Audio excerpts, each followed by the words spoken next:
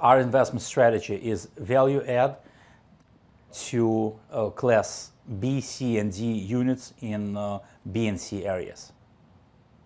Most of the apartments in uh, class C, let's say class C areas and class C apartments were built in 1950s and they still look like 1950s built apartments. We buy them, uh, we renovate units, got renovation, brand new kitchens, brand new bathrooms, floors, uh, outlets, units look like uh, Class A units. And uh, we're adding, uh, we're adding uh, amenities to them, we're adding smart units, uh, we're adding dog parks, and there's a list of amenities that we add. And this is how we bring value, and this is what we build in suburbs. Our end product usually can only be found in in downtown areas. In downtown, you see uh, uh, new construction or completely renovated units that, uh, that are being sold for $2.80 square foot.